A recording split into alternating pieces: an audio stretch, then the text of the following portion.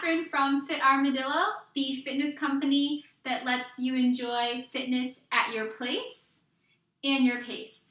And I'm here today because it is Tighten and Tone Tuesday.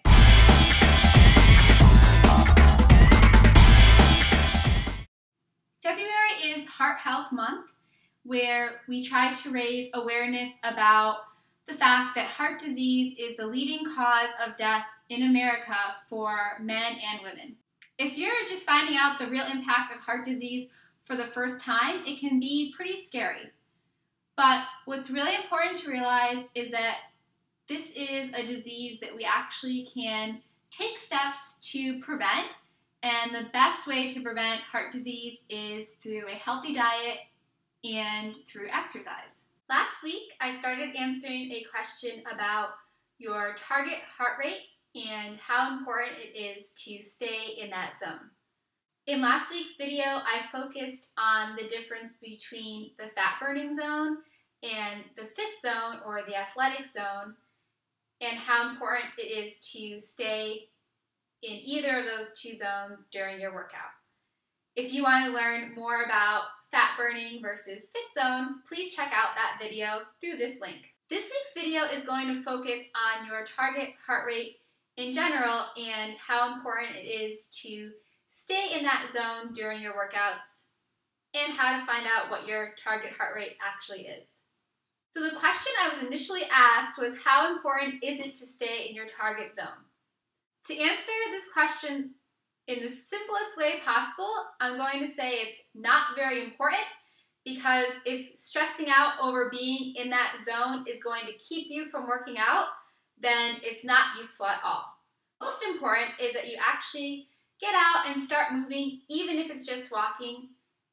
That's going to have a really big impact on your health and well being versus not getting up and getting active because you're worried about whether or not you can actually fit in the target heart rate zone that's on the treadmill at your local gym.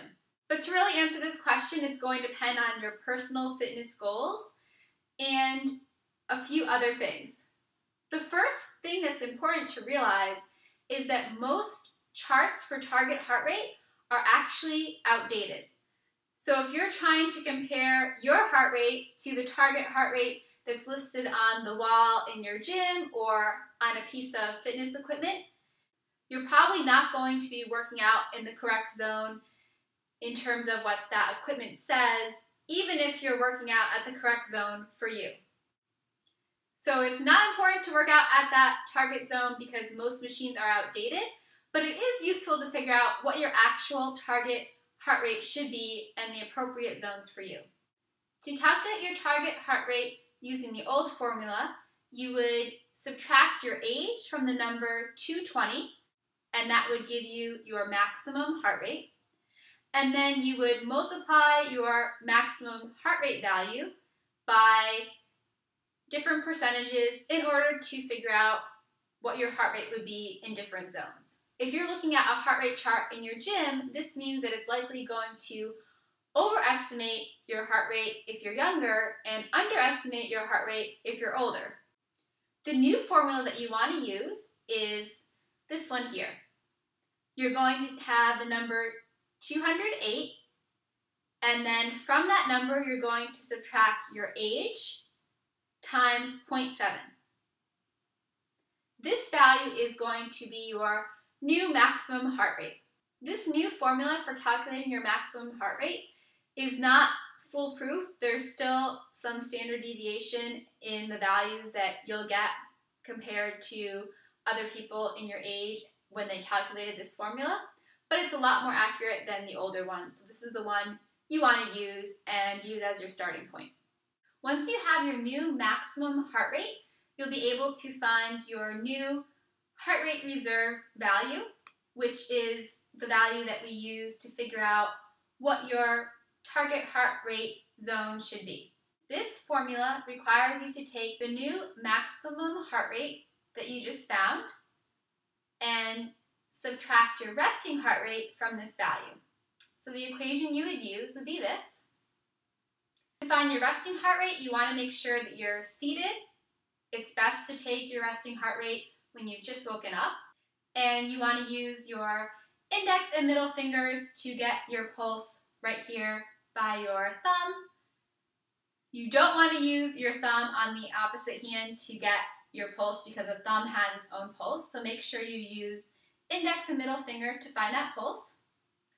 And usually we take a pulse for 10 seconds and multiply that value by 6 to get your resting heart rate in beats per minute. So you already know how to find your new maximum heart rate. From there, you're going to subtract your resting heart rate in beats per minute. Once you have that value, that's your heart rate reserve value, and you can multiply that by different percentages to get your actual target heart rates. For most people, the low end of the intensity for your heart rate should be 60% of your heart rate reserve. So you'll just multiply your heart rate reserve value by 0.6 to get your beats per minute. And the higher end of that spectrum is 80% of your heart rate reserve. So you would multiply your heart rate reserve by 0.8 to get your target heart rate in the higher end of the spectrum.